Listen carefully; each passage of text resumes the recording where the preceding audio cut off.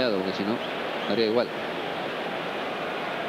Si no, un jugador con más libertad de movimientos, como es el caso. Lo que ocurre es que de, de medio Zidane. campo para arriba es brutal. Luis Figo a la derecha, Zidane a la izquierda, Raúl y Ronaldo. o sea, Sí, sí, están los cuatro. Como por supuesto lo está haciendo el Real Madrid. Malo el pase ahora de Javi de Pedro. Se la lleva Guti. Guti con Maquelele. Maquelele para Cizu. Vamos.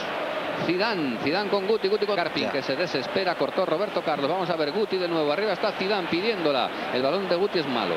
Mucho que jugarse. Sí, porque estamos toda... No quiere esperar más al tercer cambio. ¿eh? No, ahí está. El esférico de debajo de la línea. Es que hoy se demuestran quizá las virtudes y los defectos de Casillas de manera extrema en este partido. Increíble en el uno contra uno y sigue teniendo ese defectillo. Es eh, Recarte el que juega con Carpin. Carpin intenta superar a Guti, paralelo a la línea de Cal. La pisa, cae al suelo al final Guti. Ronaldo va a salir Morientes, se acabaron los cambios ya para el Real Madrid, 20 minutos quedan para que termine el partido y estos serán los 11 hombres que... Luego nos vale el empate, ¿sabes? No, la Real está haciendo su partido, desde luego. Sacándola bien la Real ahora desde atrás. Tiene que venir Guti, arrojarse al suelo y forzar. Dos en la- las tres campañas que lleva después de llegar del Fenerbahce. Es un hombre de...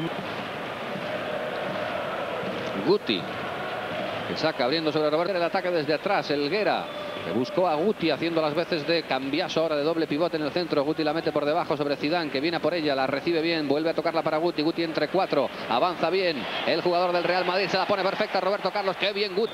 El de Azpeitia que la perdió, se la ha llevado Guti. Guti con Zidane, vamos a ver porque cuando la toca Zidane, el público Empieza a hacer ruido. La pelota es de Guti por el centro. Avanza bien Guti, que está fenomenal desde que ha salido. Ahora le faltó un apoyo en la izquierda a Roberto Carlos. La frontal del área. Esa pelota al final le ha caído afortunadamente a Guti. Que ha puesto el corazón en un puño al Bernabéu.